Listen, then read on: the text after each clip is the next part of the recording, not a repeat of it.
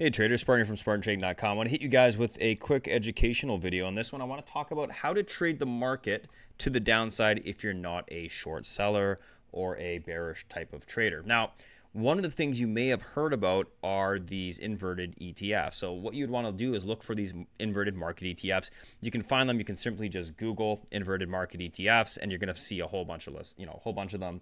Um, now, how do these work? Now, these are uh, ETFs that will trade inverse to what the market is doing. So let's say you are not a short seller, you have a lot of issues going short. What you simply could do is pull up one of these inverted market ETFs and decide to trade off of that chart rather than you know the market to the downside. So you could be taking those inverted market ETFs long while the market's actually selling off. So here's a good example of um, an inverted inverted market ETF. So we have SOXX, SOXS, which is the inverted uh, version of the uh, semiconductors. And we can see that here. And let me just go to the daily chart. These things look like, you know, basically the inverse of each other, the opposite of each other. So I can see that, okay, the market this morning on the semiconductor market, SMH, um, ETF basket for semiconductors was selling off um, after this morning um, pull to the downside. You can see a pop, uh, sorry, pop here, extended, and then it pulled to the downside here.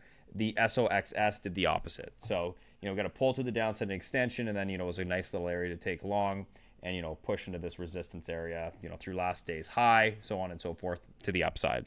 So if you're having issues trading on the short side, try these market inverted ETFs.